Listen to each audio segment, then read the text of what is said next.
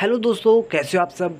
बात करेंगे आज इस वीडियो में एक बार फिर से पंजाबी सिनेमा की मच अवेटेड फ़िल्म मस्ताने को लेकर, जिसका कलेक्शन वाकई डाउन टू अर्थ आ चुका है इंडिया में। लेकिन ये फ़िल्म ओवरसीज़ में अभी भी काफ़ी ज़्यादा पसंद की जा रही है और कलेक्शन की बात की जाए तो इस फ़िल्म का ओवरसीज़ में जो कलेक्शन है, अभी भी आसमान की बुलंदियों को छू रहा है। तो बस जानेंगे आज इस वीडियो में कि फ़िल्म ने अपने स्वाति नौ दिनों में इंडिया में कितना कलेक्शन कर लिया है और कल, यानी कि अपने दसवें दिन कितना कलेक्शन कर सकती है। बताना चाहूँगा, फ़िल्म का ऑल ओवर इंटरनेट कलेक्शन हो चुका है। उन सॉरी नौ दिनों के अंदर अंदर ऑल ओवर अठारह करोड़ इक्कीस लाख रुपए और कल भी फ़िल्म संडे होने के बावजूद इतना कुछ खास कलेक्शन नहीं कर रही है।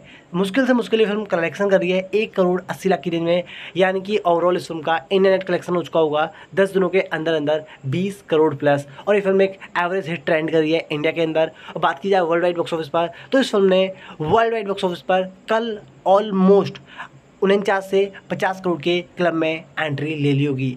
जी हाँ फ़िल्म का ऑल ओवर अपडेटेड कलेक्शन हो चुका होगा। दस दिन के अंदर अंदर ऑलमोस्ट पचास करोड़ रुपये अब ऐसे में बात की जाए फ़िल्म के ऑफिशियल और एग्जैक्ट कलेक्शन की तो बहुत जल्दी आपको आपके इसी चैनल पर area wise India wise India cross wise internet wise और वर्ल्ड वाइड कलेक्शन आपको अपडेट की मिलने वाली है इस मूवी को लेकर, इस चैनल पर ही।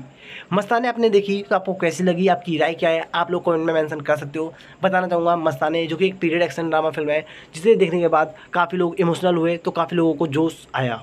फ़िल्म की स्टोरी वाकई मोटिवेशनल है तो आपको देखनी चाहिए इंस्पिरेशनल मूवी है, जिसे कि हर कोई पसंद कर रहा है। वेल आप लोगों ने फ़िल्म देख लिया है तो आपको कैसी लगी, आपकी राय क्या है कमेंट सेक्शन में मेंशन करना मत भूलिएगा। Thank you bye take care